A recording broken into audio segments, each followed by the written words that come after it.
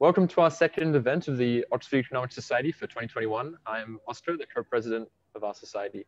Today we are proud to welcome Steve Keen, uh, who is a fellow at the Center for Policy Development and professor and head of School uh, of Economics, head of the School of Economics, History and Politics at Kingston University in London, a hub for heterodox economic thought. He is a vocal critic of neoclassical economics, which he's argued is inconsistent, unscientific, and empirically unsupported. An expert on the work of Hyman Minsky and simulating uh, financial instability, he received the Revere Award in 2010 for being the economist whose work is most likely to prevent a future financial crisis. Today, he will be discussing macroeconomics without micro using post-Keynesian economic theory. The talk will last 45 minutes with 15 minutes of questions at the end. Make sure to send in your questions throughout the talk through our Pigeonhole page. The link should be in the description of this event. If you would like to rewatch our events, they'll be posted on our YouTube channel afterwards. Thank you for joining us, Professor Keen. Okay, Alex, better bring myself up to date too. I left Kingston about two years ago, and okay. I'm now uh, honorary professor at UCL, uh, though I'm based in Bangkok because this I made the decision uh, about nine months ago that it was a much safer place to be for COVID than the UK, which was even it's even more true now than it was then. Okay, so let's just uh, get ready to roll. So I'll just share my screen and we can start the presentation. Okay. Well, economics has had an obsession with equilibrium, which I now want to say it's time we abandoned it, please, because this has kept us in the 19th century uh, while the planet has moved on to the 21st. And it's no wonder economics can't understand what's happening. And if you go back to the originators of neoclassical economics, you find that they regarded equilibrium as it should be, as a shortcut and they were wrong about some of the effects that they thought, but this is Jevons, who was a, one of the major founders. If we wish to have a complete solution uh, in all its natural complexity, and I love the fact that Jevons used that word long before it had the technical meaning it has today, we should treat it as a problem of dynamics. But it would surely be absurd to attempt the more difficult question when the more easy one is yet so imperfectly within our power. So that was it was it was done as because they simply didn't have the tools for dynamic analysis back then. If you look at uh, J.B. Clark, who invented the marginal productivity theory of income distribution, which is one of the many mistakes of neoclassical economics, but again, they weren't to know that back in the end of the 19th century. He thought the 20th would be when dynamic economics happened.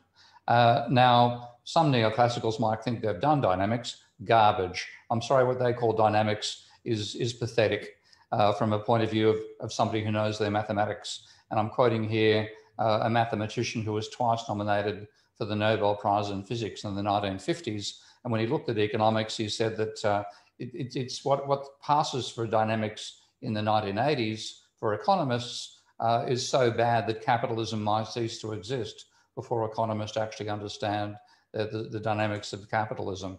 And of course, I'm sure many would say, and this is a classic here from Chari, V.V. Chari, defending neoclassical economics after the failure Uh, of any neoclassical model to forewarn of the financial crisis back in 2007, saying you've got to use a DSGE, where, of course, the first letter stands for dynamic.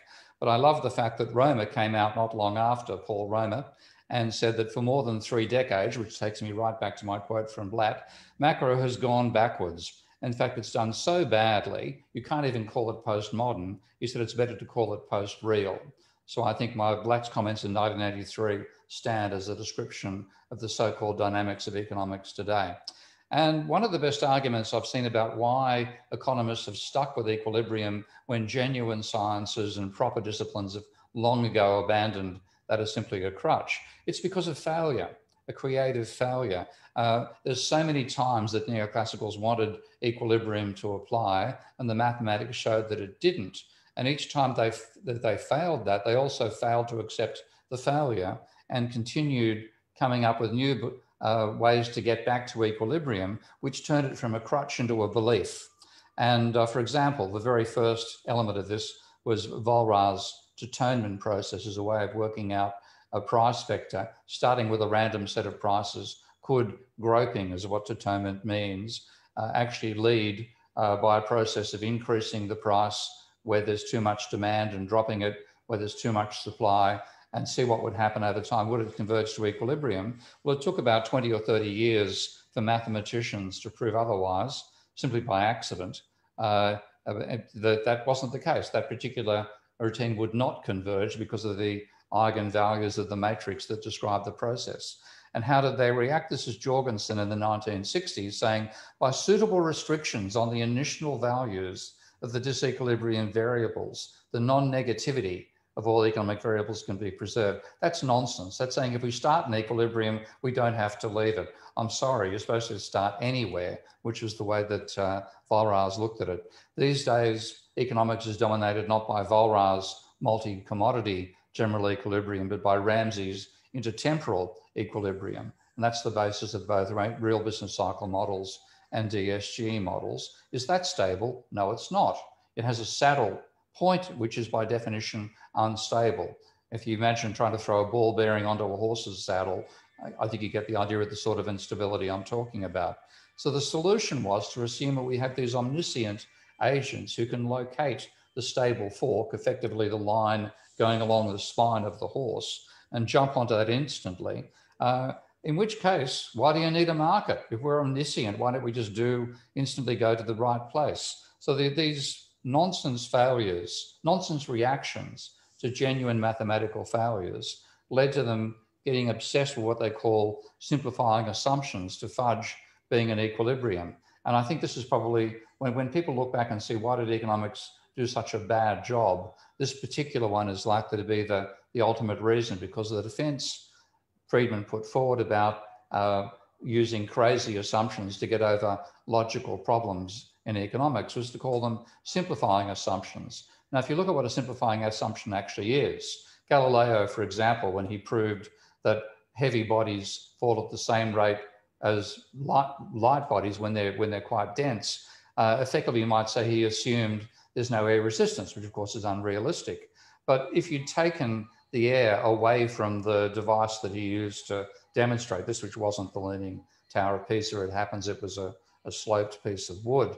But if you'd evacuate the air, would have made very little difference. It's trivial. So a simplifying assumption is something that makes your analysis much easier, but makes very little difference to the actual result. Whereas neoclassicals apply this, this dictum that Friedman invented to what a wonderful philosopher of science, Alan Musgrave, called domain assumptions, where if the assumption is wrong, then so is the theory.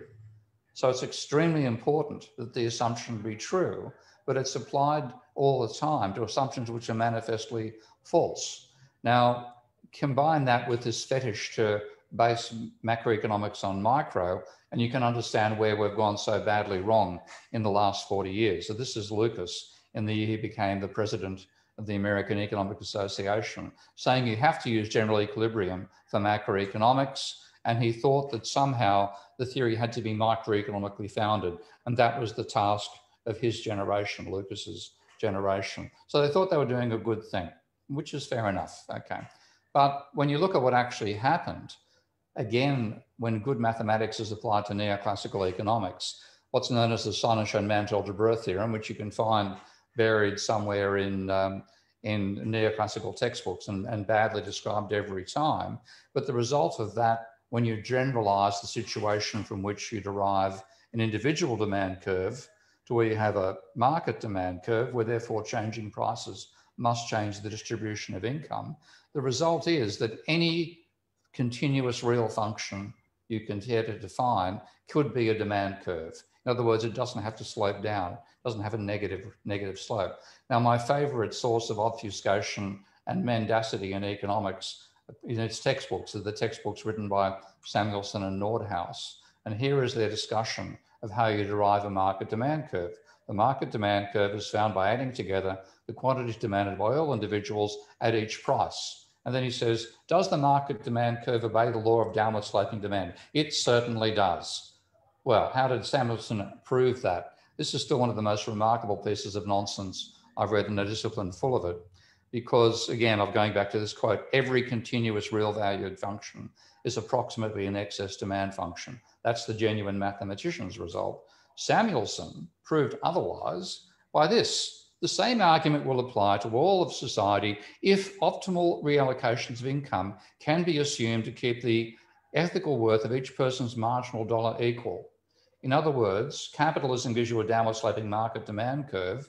If we assume there's a benevolent version of Stalin there who redistributes all incomes before trade happens, so everybody is happy with the distribution of income. Sheer nonsense. But that's the sort of thing that passes for simplifying assumptions in neoclassical economics. Now, the other problem about trying to derive macro from micro is that it simply isn't possible to derive a higher level analysis from a lower one. And physicists realize this back in the 1960s. This is a genuine physics PhD uh, and Nobel Prize winner, Philip Anderson, saying you can actually make up a table like this, saying that um, chemistry depends upon many body physics and molecular biology depends upon chemistry, et cetera, et cetera. So once you've done it, um, the fact that you can do reductionism doesn't apply the, apply the reverse, which you call constructionist, where you start from many body physics and derive chemistry, or you start from molecular biology and derive cell biology. And they said there simply isn't possible. At each new level, you have to use new techniques of analysis, which are as unique in their own right as the ones below. And the wonderful punchline psychology is not applied biology, nor is biology applied chemistry. And I extend that to see neither is macro applied micro. Now, the whole process of trying to achieve micro foundations is futile. For a start, the foundations are fictions the whole idea that rising marginal cost rises because of diminishing marginal productivity is empirically false. Firms don't suffer from it because factories are designed by engineers, not economists. So they don't even encounter the problems that are built into the economic theory. So when you look at the, the surveys, about the about 20 or 30 surveys, they've all found that marginal cost is constant or falling for the vast majority of firms. You also can't get a complete set of preferences. The whole idea that you can derive somebody's demand curve uh, from their preferences is nonsense. So you can't, and, and then on top of that, even though it, it, it, the foundations are rotten to begin with, even with good foundations, you couldn't do it. But does that mean no foundations? And this is the sort of worry that you can see amongst neoclassicals today. Olivier Blanchard uh, making a quite a, a genuine point. Uh, you know, do, the, do DSG models have a future? And he said, well, we have to start from micro foundations. Where else can you start from? And he said, if you do that, you've got to do a huge long slog to go from the model of a competitive economy to a reasonably plausible description. Uh, but it's hard to see where else to start from. Well, this is the blinkers that get imposed upon you by becoming an expert in a particular paradigm, which is false, because you can start from macro itself. And I want to show how to go about that. So if I start from, uh, and I'm going to end up deriving a model which was first built by Richard Goodwin back in 1967, but I'll start by defining omega as the wages share of GDP, total wages divided by total GDP.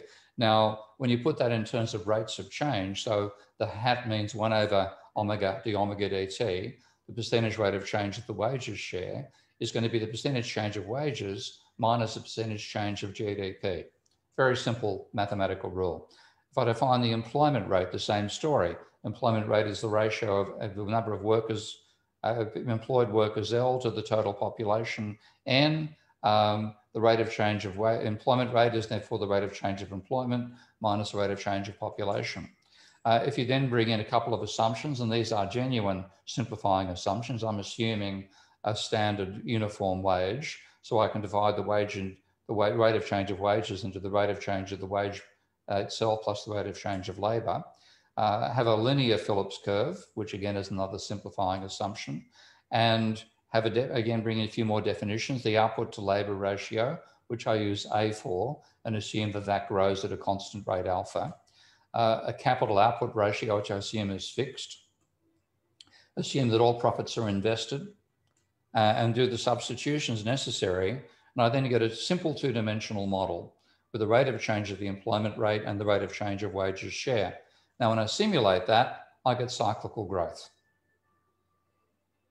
which is a bit uh, more interesting than the obsession neoclassicals get, but of course, with equilibrium. But of course, you don't see cycles that are that regular in real capitalism. So I can extend it by saying, well, let's bring in one more necessary de definition for a capitalist economy, and that's the ratio of private debt to GDP. And I'll explain why I justify that uh, after I present the results in terms of a model. So now do the same story to the differentiation of D which is going to show the rate of change of the debt ratio is the rate of change of debt minus the rate of change of GDP.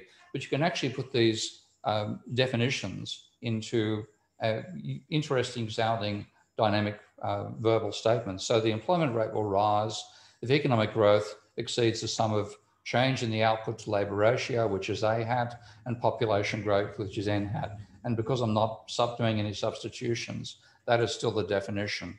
A similar one for wages, the wages share will rise if total wage bills grows faster than GDP, and the debt ratio will rise if private debt grows faster than the economy.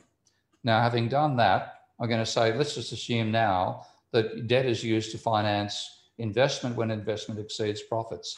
And of all people, Fama and French, two people who propounded the ludicrous capital assets pricing model, when they did empirical work, they were very, very good. And they found, yes, it's true that the main function of change in debt is to finance the gap between investment and profits. So I bring that in. I have investment.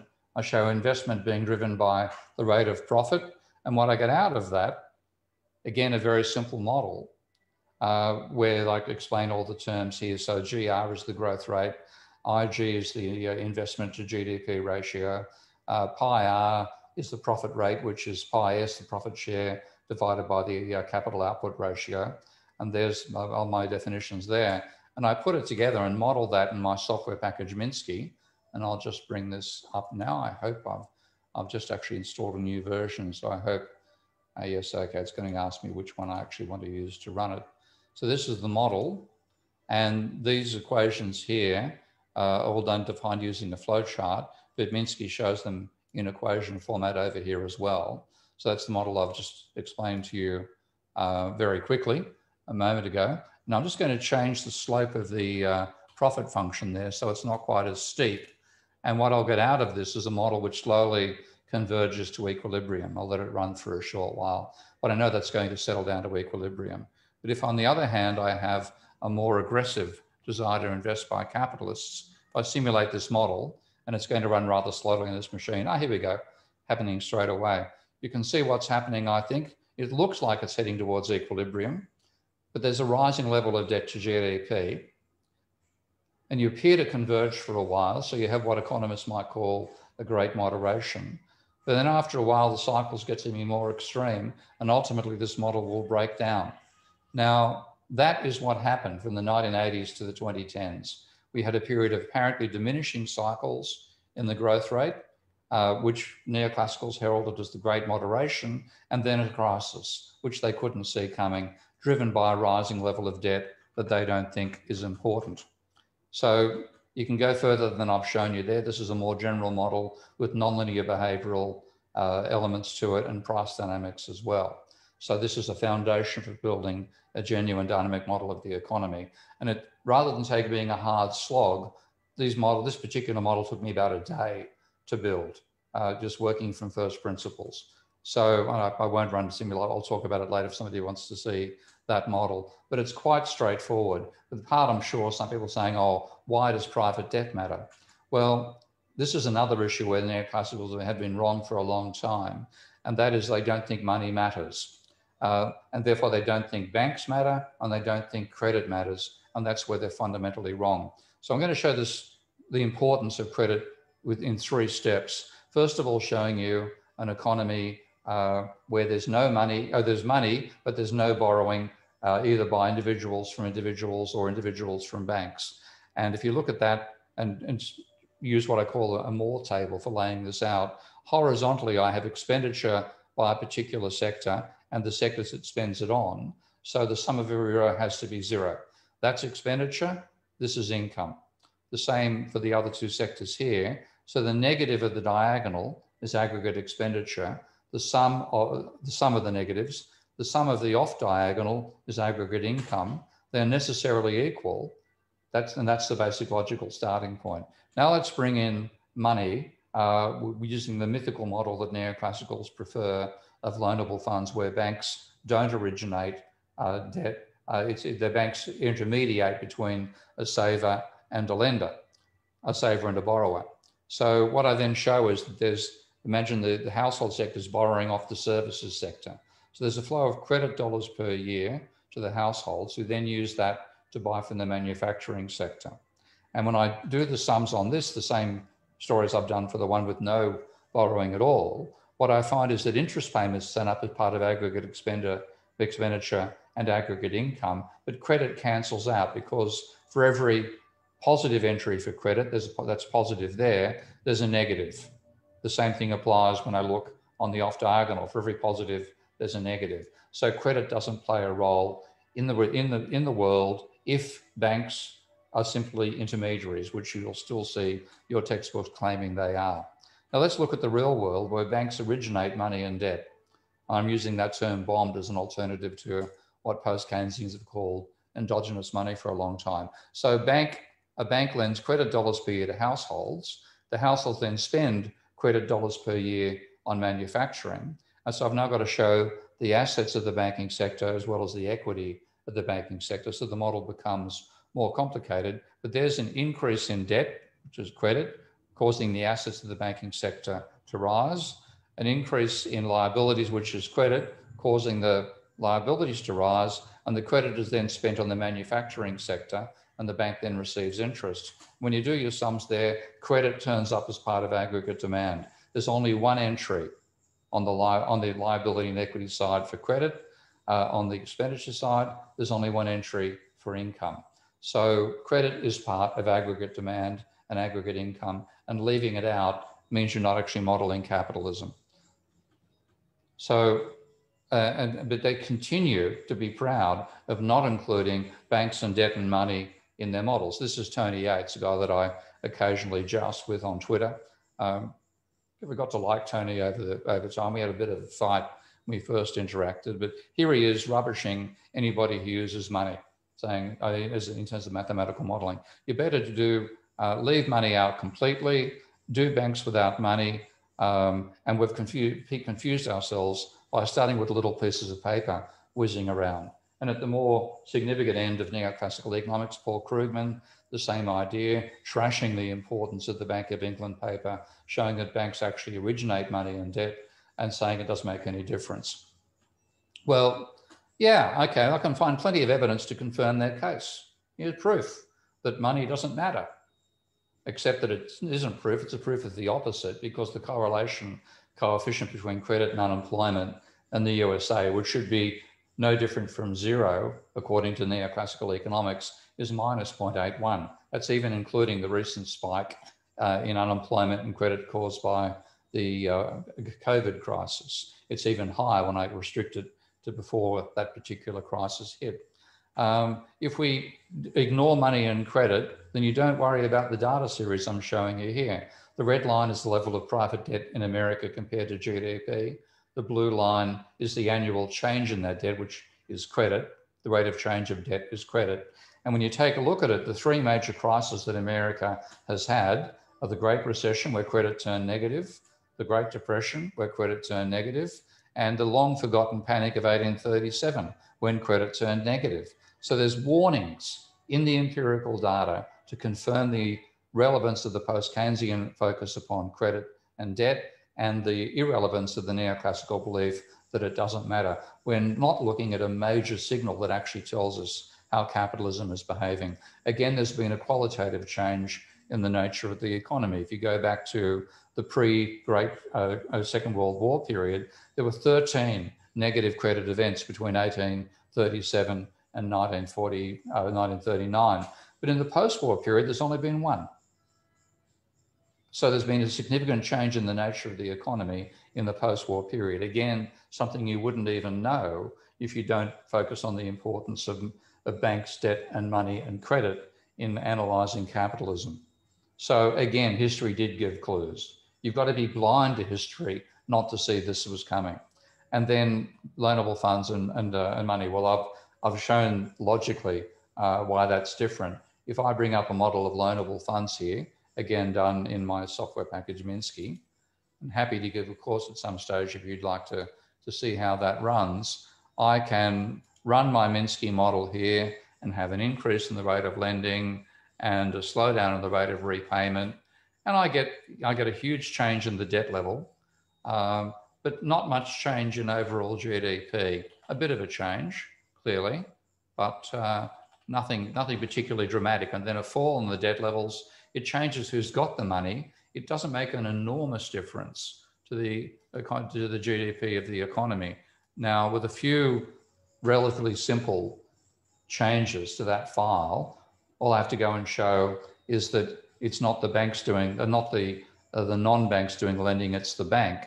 If I go now and simulate this particular model, which is now including the role of, of credit in aggregate demand, then if I increase the rate of lending, I get a boom in the economy. If I slow down repayment, even more so. If you have a repayment more rapidly and lending more slowly, you have a slump. That's exactly the same model. The only change I've made is to say that the, bank, the loans are a, an asset of the banking sector rather than an asset of a non-bank.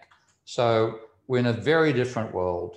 Uh, it is sig- highly significant to include the role of banks, debt and money, just as significant to go from an equilibrium fetish to a real world one.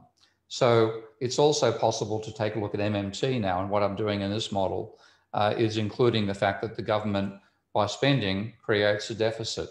Uh, when you and begin, people wrongly think the government has to finance a deficit by borrowing from the private sector. The private sector, in that sense, is this side, the liabilities and equity side of the banking sector.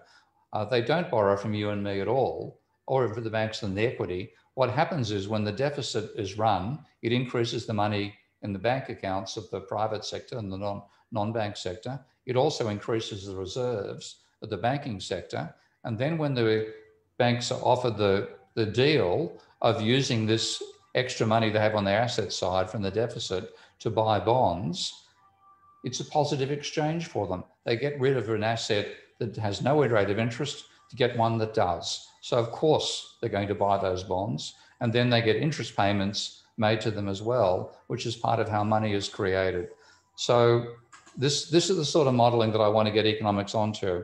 And it's extremely simple to drive a Minsky model. Um, Minsky, you don't even see any differential equations here, but Minsky generates those for you. All you have to do is define the flows, and you've got your definition of a model. So that's what I've done here. And again, showing that uh, if you if you run a deficit rather than a deficit burdening future generations, a deficit enriches the current generation because the deficit creates additional money, creates positive equity for the uh, for the uh, non uh, non-government sector, and enables it to spend and have e- uh, commerce without having to borrow money to do it. So again, the the fetish for equilibrium thinking, the failure to model the banking sector properly, the failure to understand how banks actually works, means we have economic theory which is biased towards austerity and which ends up causing catastrophes like the response we've had to COVID, where part of the failure there was because, courtesy of the arguments of neoclassical economics, we've run down the capacity of the, of the public sector, and therefore we weren't at all able to be prepared for a pandemic. Pardon me. So you get all this nonsense about MMT being nothing new and quite wrong, the usual, the put down that Keynes expected he would get, indeed he did get uh, from his own colleagues when he came forward with his uh, approach to economics in the 1930s. And again, I'm just showing what, what's possible with Minsky. This was, uh, pardon the, the lab being a bit messy here, it's, it's a program we're continually redesigning, and we've actually changed the width of some of these uh, columns just recently. So those ones are overwriting uh, each other, so you can't quite see it clearly, but I can, and I'll just see, I'll just waste a bit of time here. Okay, move this over. So I want to display the contents there. I just simply have to stretch these out a bit and then rearrange. So you spend a lot of your time doing graphics uh, when you're working in a in a modern software package. I'll just fix that up quickly here. This is a pretty bad demo. If I had a normal lecture, I'd be going a lot more slowly and showing things more uh, more easily. I know I'm going very fast and all I can see is myself, so I don't know who's actually watching here at the moment. But this is a model of, of mod, modern monetary theory, including credit creation as well. And I can show, and I'm happy to go back and show this during questions uh, later if that happens, that uh, the government running a surplus takes money out of the private sector and helps contribute to a financial crisis, uh, running down the level of GDP. The exact opposite of what you'd want to do in a real world. So MMT is something new and it's correct. I've got problems with it when it comes to international trade theory. That's another story. But it's a description of how a market economy with a government sector that creates money by running a deficit and a banking sector that creates money and debt by extending credit, Minsky is capable of modeling that quite easily. Now, normally I bash neoclassical economics. Here I'm going to be bashing everybody because when you look at what we've done, and this is going beyond the monetary and going to say, let, us we now have to integrate ourselves with ecology. Uh, all the production theory we've taught, that includes the Leontief model, violates the laws of thermodynamics. And this is one of those things which, if you don't know it, it's about time you learnt it. Go and take a look uh, at some works on, on thermodynamics, on physics in general. And you'll find that this is a beautiful explanation of why the laws matter um, by the 1920s, 1930s version of Stephen Hawking's, uh, explaining if you don't understand entropy and you have a model which violates the second law of thermodynamics, then there's nothing for you to collapse in deepest humiliation. And that really is the state of neoclassical economics because, and, and, and post Keynesian as well, because we've ignored the need for energy to produce output. And about four years ago, this little insight occurred to me in a colleague's house full of statues uh, that labor without energy is a corpse and capital without energy is a sculpture. So we can bring energy in by treating energy as an input to labor and capital that enable them to do useful work. And then what you get is something which is realistic. So I'll start from the Cobb Douglas production function that I know you'd be having shoved down your throats at, uh, at Cambridge, at uh, Oxford. And you also, I imagine, the CES, another complicated version of the same. This is the Leontief expression.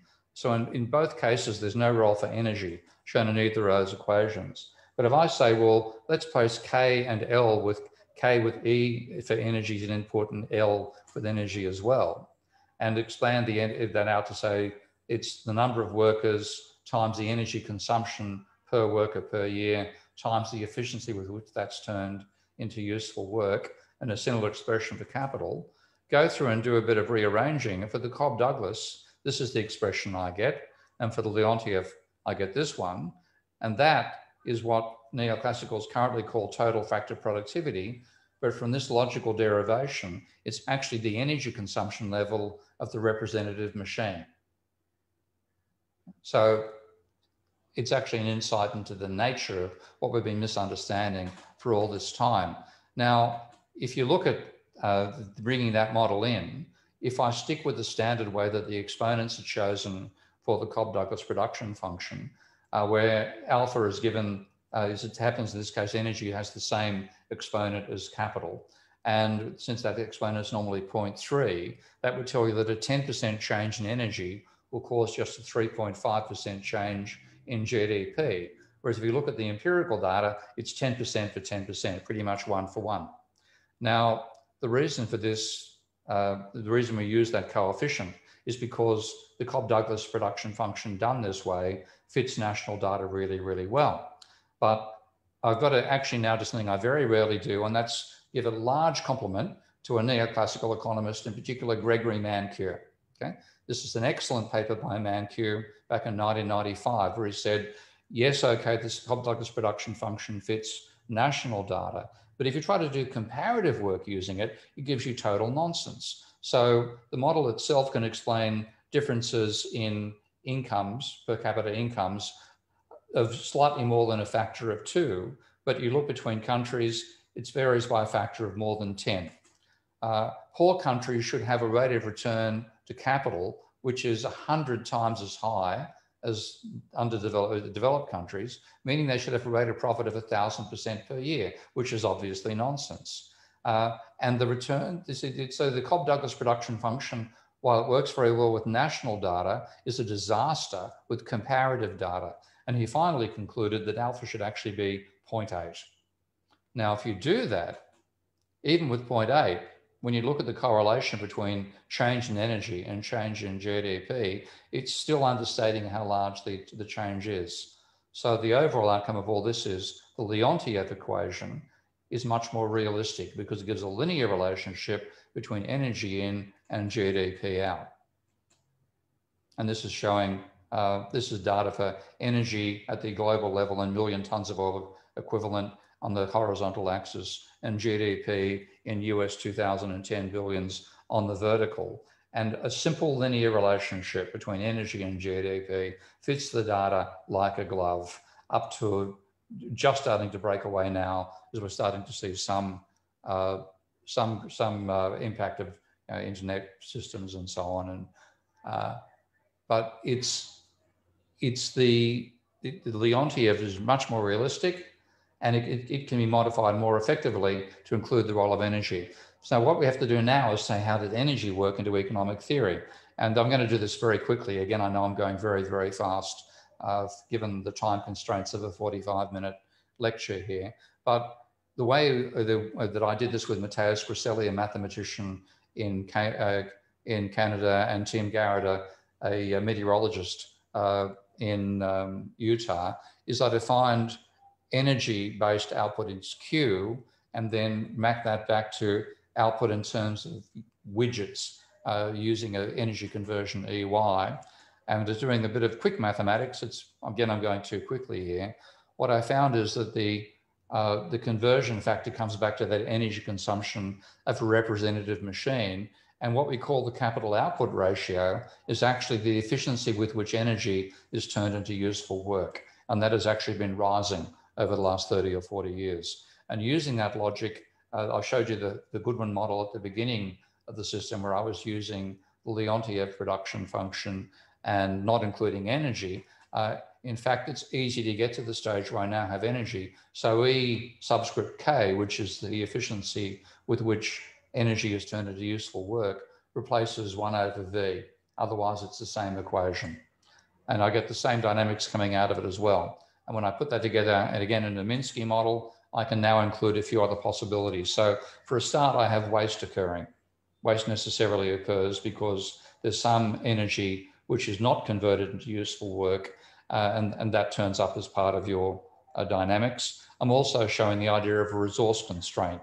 Even Nordhaus has something like this in his model. He's got, I think it's 6,000 gigatons of, of carbon as the limits of fossil fuel. So I start showing if you started with no with no um, um, a tiny rate of depletion. Then all of a sudden, in the last 60 or so years, you start to run your resources down. not saying that I expect a resource crisis to end capitalism, but this is showing that's that's the feasible outcome unless we move to solar technology. So uh, you, you, can make a range of you, you can get an integrated economics and ecology out of this sort of thinking which you could never do with neoclassical equilibrium thinking.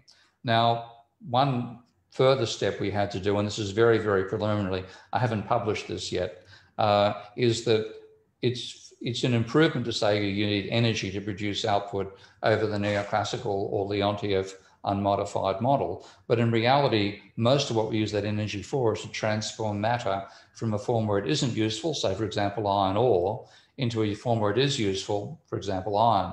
So again, working with Matthias and Tim, uh, we then worked out how to explicitly model um, the both matter and energy being used in production. So we get to the stage where we're physically, we have a biophysical economics as the foundation of our work. And when I look back at it, I, I knew from my research when I was a master's student that John Hicks had attempted to build a model of a production economy involving matter way, way back in 1935 in a paper called Wages and Interest, the Dynamic Problem. And he assumed that there was a single commodity called bread, which was produced uh, using labor and capital goods, which he called equipment, et cetera, et cetera. Uh, but in fact, he gave effectively gave up and treated equipment as being old bread, dated bread.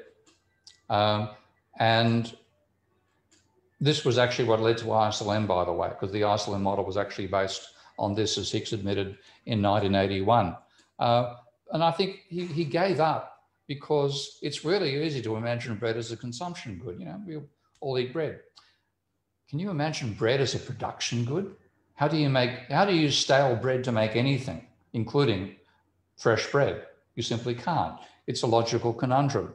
So a little brainwave that occurred to me, and this is one of the chance, one of the advantages of being a bit of a, a sci-fi junkie, uh, was I knew about this movie called The Iron Giant, and um, in this, movie, it's obviously an animated cartoon. And the idea was, well, let's imagine, let's rather than having a realistic consumption good, it makes it really hard to think of an investment good that works. Let's go the other way and make a, a fantastical consumption good. So the iron giant eats iron, but that means we can have a realistic investment model. So that's the trade-off I made at this particular point. So we have energy being used to mine energy, energy being, energy being used to mine iron ore, and energy being used to smelt iron ore and turn it into from iron into iron ore into iron, iron plus slag. So the waste turns up there. And then you can mold the iron ore into something the iron giants can consume, or you can make three types of machinery out of it energy mining machinery, iron ore mining machinery, and iron smelting and rolling machinery. So this is the, the realistic foundations. So energy is used by all three sectors. And these is, this is some of the logic behind it. This paper is published, by the way, on my, um, on my blog, my website, and I'll, I'll make it available through, um, I'll send an email off to the Oxford students uh, when I finish giving this presentation. So we then had the new factor that turns up here was a conversion factor for convert, converting uh, your yield from your input. Now, here, of course, in the case of energy, the yield from energy is energy. But in matter, the yield from energy is matter. And in production, again, the yield is matter and waste. Um, and we're using the conservation of energy and the conservation of matter as part of our logic to derive these models. So again, in that sense, this is a biophysically grounded approach to economics. Now, having done all that, uh, what I ended up finding was that I, because one of the big dilemmas in neoclassical economics is how do you measure capital? And if you haven't read about the capital controversies, get Geoff Harcourt's book and go and read up it and see how you had the wool pulled over your eyes for the last 40 years. But as it happens, in trying to aggregate capital here, I found I, my aggregation was to add them up in terms of tons of iron. There's the number of machines times the weight of the machine. And that gave me a way of aggregating. It's, it's crude, but it's at least it's realistically based to begin with. Uh, and then I made a similar assumption for uh, the re relationship between the energy, the matter output of the mining sector and the matter input to the energy to the uh, factory sector. And out of that, we could determine the yields. We're going to make this more flexible in time, but this is all uh, to get a very first, uh, very first calculation. Again, I know I'm going faster even than your Oxford lectures go here. So I'm sorry about the speed I'm going at, but again, 45 minutes is a fairly tight constraint. But having done all that again, what do I get? But the Goodwin model now including matter as part of the output. And when I put this all together, I get a model where there's waste, not just waste energy, which wouldn't be as much of a problem because waste energy would be radiated into outer space. It's waste matter that's the real problem we have in capitalism today. And that's just showing again, we can bring all these elements together and do economics still.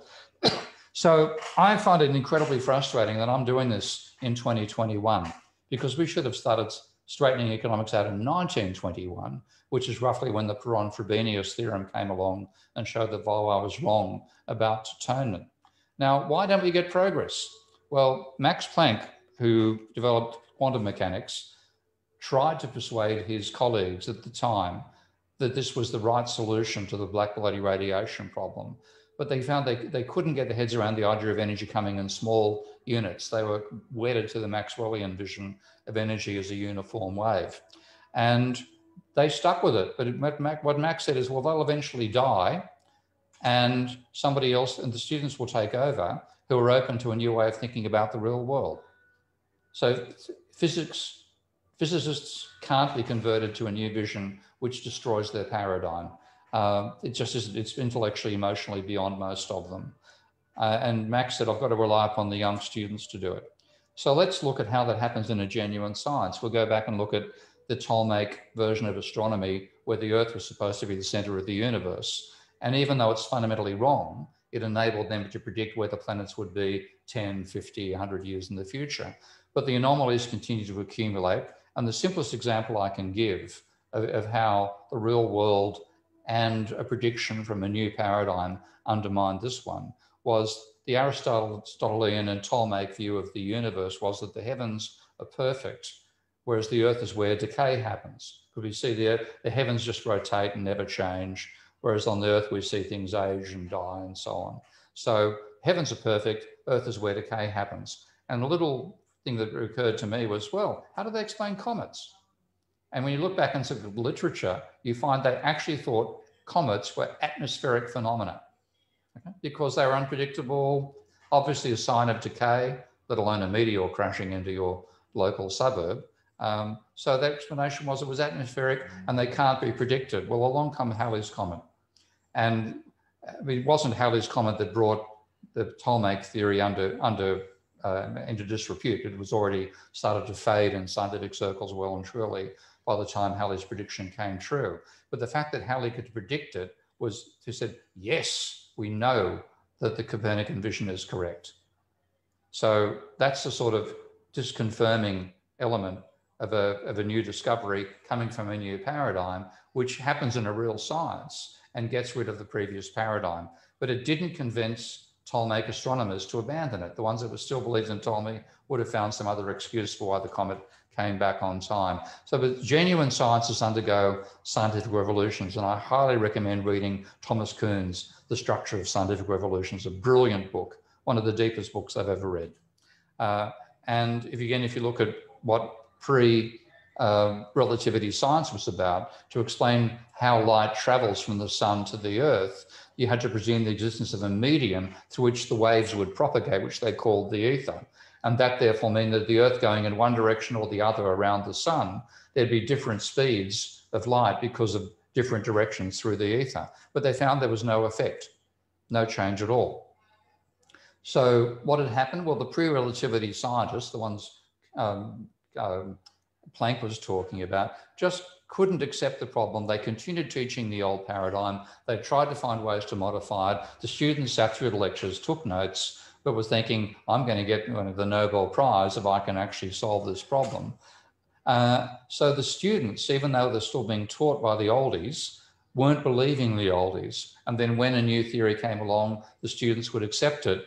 Ultimately, the old students would have to retire or die. And when they did, they were replaced by new, new uh, scientists who are committed to a new paradigm. That's the process of renewal that a genuine science goes through, which is why this one liner uh, that summarizes Planck's views came around science advances one funeral at a time. Uh, and it's a punctuated progress. You have an established paradigm, a fundamental anomaly, established students, uh, scientists resist it. The students can't be persuaded to ignore the anomaly. A new paradigm comes along, the old scientists die, the students take their place, and you get a change in paradigm. That's a genuine science. In economics, we get anomalies all the time, but they're ignored. First of all, you can never repeat the Great Depression. You can never repeat the Great Recession. It happened once, it's never repeated, and ultimately it's forgotten by people who come along later. Uh, a new event comes along like COVID and overwhelms it. Uh, they gloss over theoretical critiques like the capital controversies. And you'll actually find Paul Samuelson conceded defeat in 1966 in a paper called The Summing Up. I highly recommend reading that paper, probably the most honest thing Samuelson ever did. And there's a wonderful punchline at the end. If all this causes headaches for those nostalgic for the old time parables of neoclassical writing, we must remind ourselves that scholars are not born to live an easy existence. We must respect and appraise the facts of life. And he'd lived up to that, I wouldn't be giving this lecture. So neoclassicals still teach this marginal productivity garbage, which has been disproved by something that was written uh, well, certainly before most of you were even thought about, let alone born. Uh, so, and also the existing adherents want to ignore the paradigm. They do want to forget it. They don't want to be reminded about the Great Recession and so on.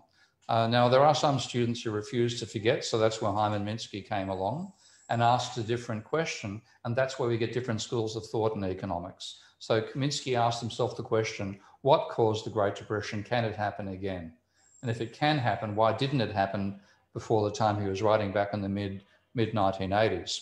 So he said we have to have a theory which can generate a Great Depression, which of course neoclassical economics can't do. So what we get therefore is some people like myself become followers of a rebel like Minsky. You get a rival paradigm. We're marginalized, we're ignored, uh, and the, the, we never end up replacing neoclassical economics. We're just complaining from the outside about it. And economics effectively remains pre-scientific. It doesn't have the revolution that desperately needs to be refined. And the old paradigm can find believers in the new theory. I'm sure some of the people watching this lecture are most likely going to be some of the new believers because the vision it has is a wonderful utopian anarchist interpretation of capitalism. Neoclassicals are fundamentally utopian anarchists. They believe in a meritocratic world in harmony without central control. Well, good stuff. Uh, you know, please go and join Extinction Rebellion.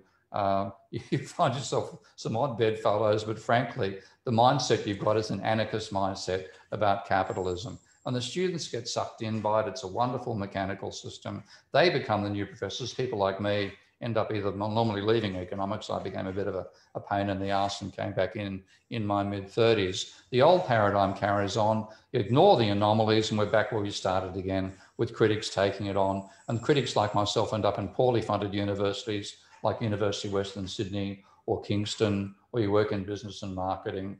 Uh, or maybe in finance sector think tanks and stuff like that. So economics avoids its revolution and is not a science for that reason. To be a science, you have to undergo revolutions. Economics hasn't undergone one since 1870. Uh, and they make absurd assumptions to get over anomalies in the, in the process. The number of absurd assumptions is frankly absurd. Uh, there's a great joke there about assuming a can open. I'm happy to repeat that one.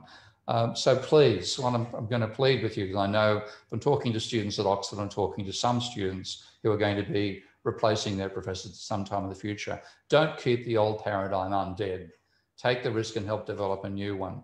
Learn complex systems analysis, learn system dynamics. Uh, the downside is you're going to have to do much more work to teach yourself outside what you're taught in your own lectures. Uh, you probably won't get a lectures at Oxford anyway, they'll, they'll block you. Um, I managed to get in through the back door, which is another story I'm happy to uh, go into and questions if anybody's interested. But the upside is you'll be part of the solution rather than part of the problem. You can get an interesting job outside economics. System dynamics is now becoming more and more widely used in industry, and it's a challenging and interesting approach to thinking. And the main one I'm going to come down here and, and finish on is that you'll avoid the blame when climate change exposes neoclassical economics for the farce that it is. You may know that I've written a recent uh, uh, analysis of Nordhaus's work. Uh, and I've never seen anything as bad as Nordhaus's work on climate change, except for that done by his friend Richard Tol. Uh, so, for example, one of the reasons that climate change is going to have a trivial impact upon the economy is because Nordhaus assumed it would have a trivial impact upon the economy. He literally assumed that 87% of industry would be unaffected by climate change. Just an assumption, because it happens indoors. That's really about as deep as I could find it. And here's Richard Tol in a recent tweet 10K, 10 degrees Celsius, is less than the temperature distance between Alaska and, and Maryland. Climate is not a primary driver of income. That is a climate change denialist masquerading as an economist.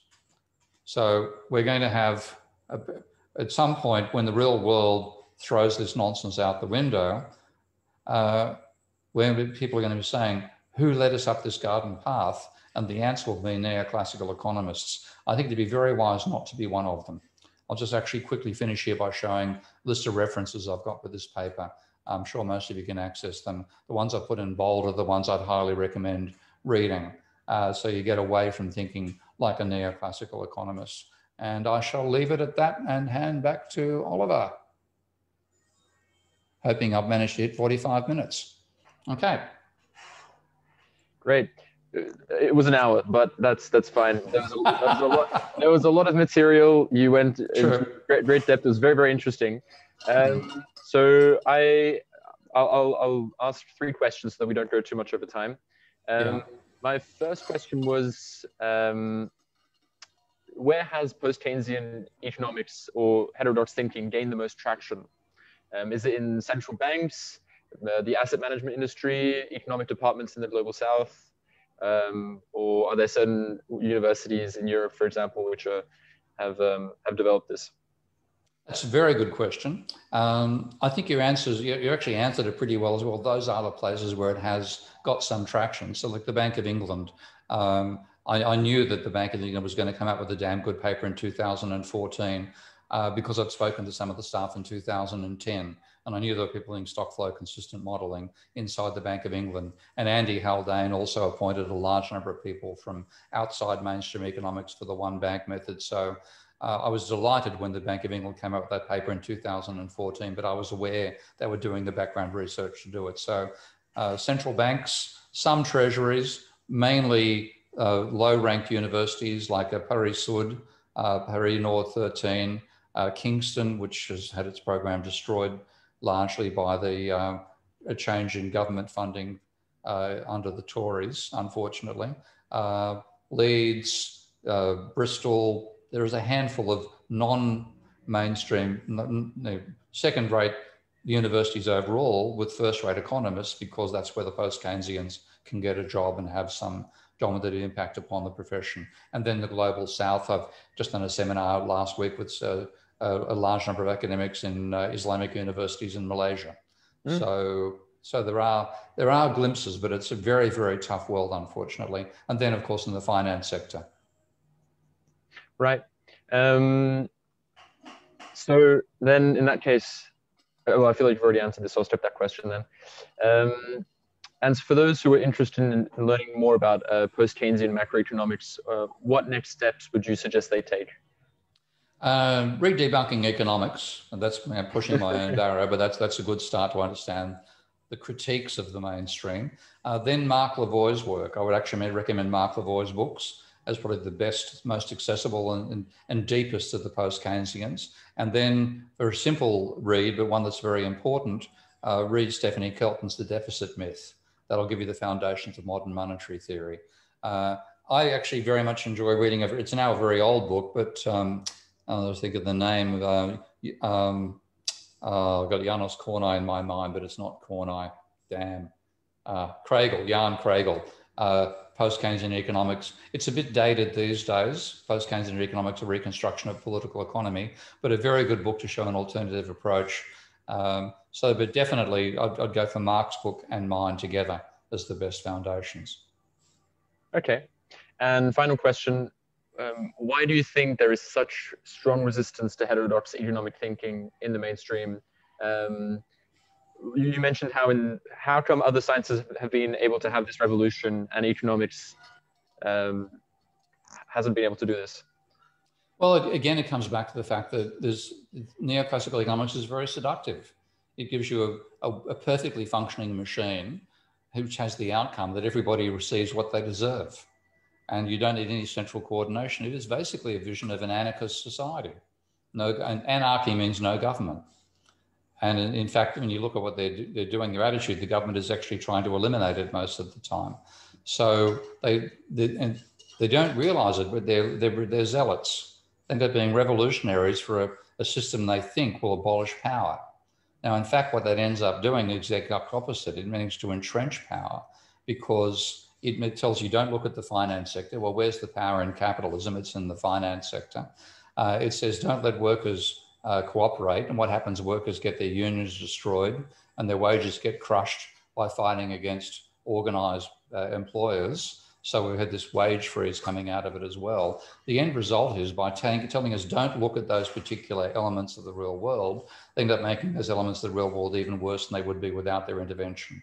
So uh, their, their, their, objectives, their motivations are good because they're believing a false theory. Their outcome is disastrously bad. Great. That's all we have time for. Um, if you'd like to rewatch Professor Keen's talk, it'll be uploaded to our YouTube channel. Uh, our next event will be Tuesday next week with um, Bryan Caplan, titled um, "Poverty: Who to Blame? A Libertarian Approach." Um, and we'll also we're also hosting Randall Wray, um, who's a strong proponent of uh, MMT uh, later this term. So tune in for that. Uh, thank you, thank you very much, Professor Keen. You're welcome.